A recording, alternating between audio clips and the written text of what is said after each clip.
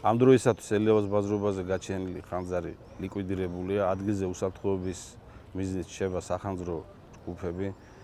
წუხელ თელიღამის განმავლობაში მუშაობდა 30 ერთეული სახანძრო სამაშველო ტექნიკა, დაახლოებით 150-მდე მეხანძრე მაშველი, რომლებმაც ოპერატიული მოქმედებების შედეგად მოახდინეს დროული ლოკალიზება, მიუხედავად იმისა, რომ იყო ალბათობა ხანძარი გავრცელებულიყო უფრო მეტ ფართობზე და მოეცვა მთლიანად მთელი ბაზრობის ტერიტორია. დამწვარია დაახლოებით 2500 კვადრატამდე მეტრი ფართობი. ამ დროისათვის ხანძარი როგორც გითხარით ლიკვიდირებულია.